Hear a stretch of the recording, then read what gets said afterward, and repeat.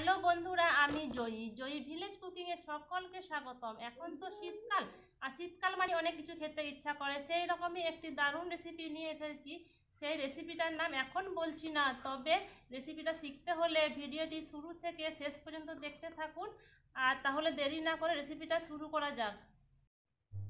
রেসিপিটা বানানোর জন্য এইগুলি নেওয়া হয়েছে। মাংস, মটর, গোটা জিরে, নুন, জিরা গুঁড়া, হলুদ গুঁড়া, লঙ্কা গুঁড়া, ধনে পাতা, আলু, আদা, রসুন আর পেঁয়াজ।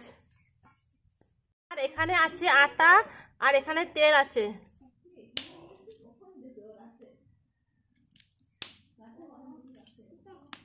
বন্ধুরা উনান ধরানো হয়ে গেছে। কড়াইটা চাপিয়ে দিচ্ছি। তাতে জল গেলে দিচ্ছি। মটর সিদ্ধ করার জন্য। আলু একসঙ্গে সেদ্ধ করে নেব।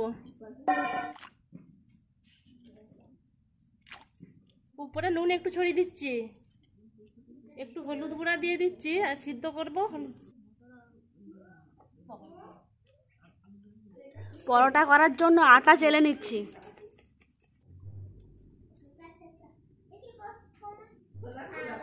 নুন আর তেল দিয়ে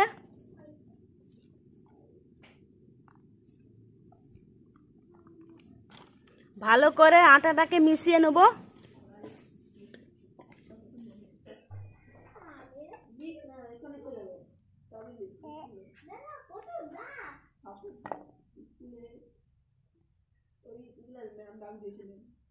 নুন আর তেল দিয়ে আটাটা মাখিয়ে নিয়েছি। এই যে দেখুন কি সুন্দর দেখাচ্ছে।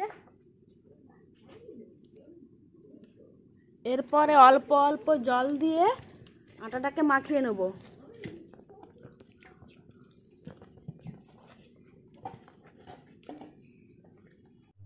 আটা মাখানো হয়ে গেছে, এর উপরে হালকা তেল দিয়ে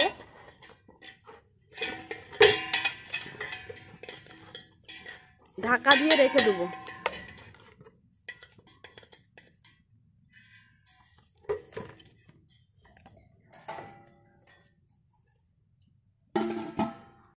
মাংসগুলোকে ছোট ছোট টুকরা করে নেব।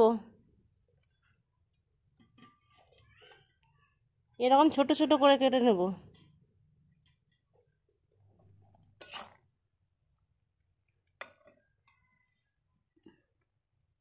মটর আলু সিদ্ধ হয়ে গেছে। তো বাটিতে এটা ছেঁকে নেব।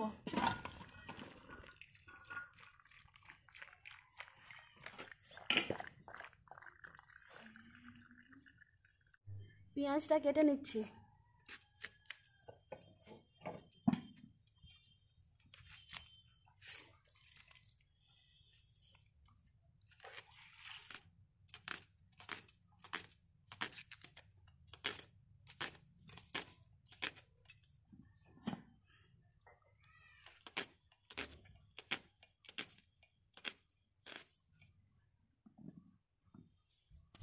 রসুন বেটে নিচ্ছি।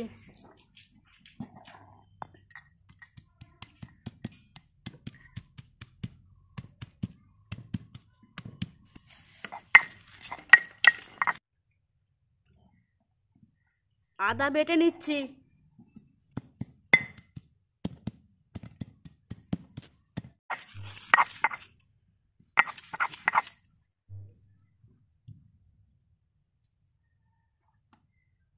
কড়াই গরম হয়ে গেছে, তেল ফেলে দিচ্ছি।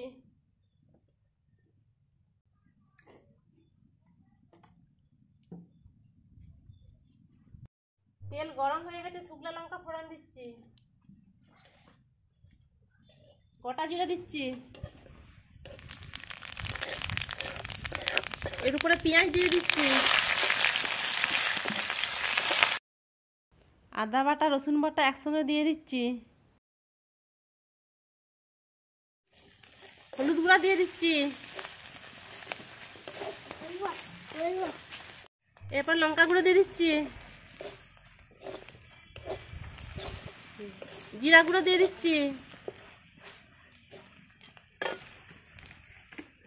হালকা জল দিয়ে দিচ্ছি।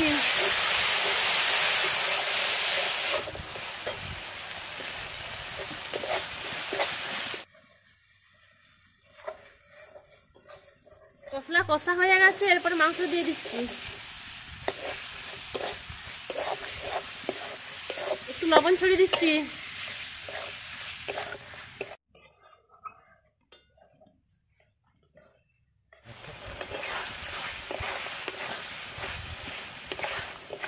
মাংস কষা হয়ে গেছে, এরপরে আমরা আলু আর মটরটা দিয়ে দিচ্ছি। আলু, মটর, মাংস কষা হয়ে গেছে, এরপরে একটু অল্প করে জল দিয়ে দেবো।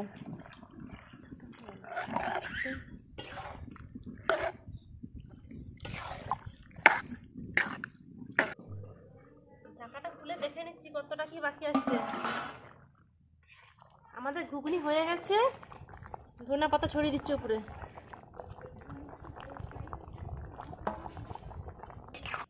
এখানে পরোটার জন্য লেচি কেটে নিচ্ছি।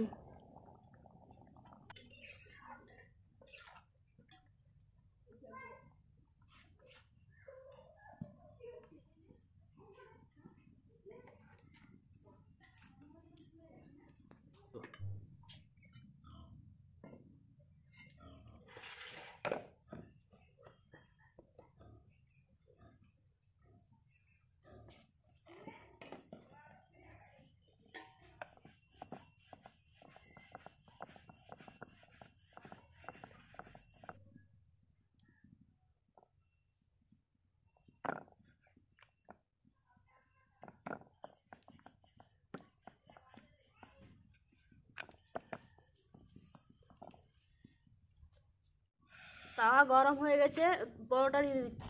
এর উপরে তেল ছড়িয়ে দিচ্ছি।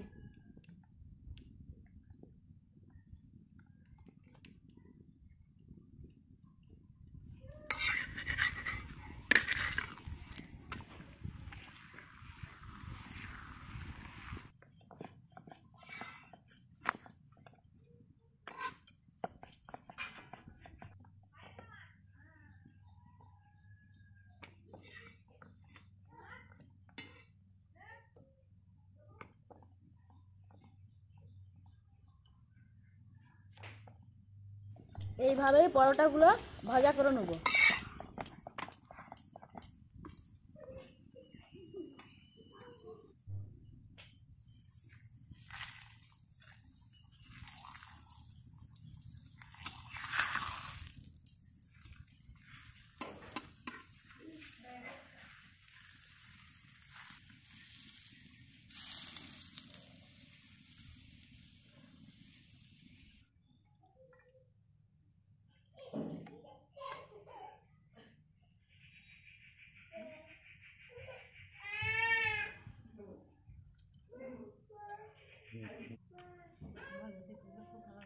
কেমন লাগছে? ঘুগনিটা খেতে মাংস খুব ভালো। আর পরোটাটা? খুবই ভালো। আর যারা বাড়িতে বানিয়ে খাননি, তারাও বানিয়ে খাবেন।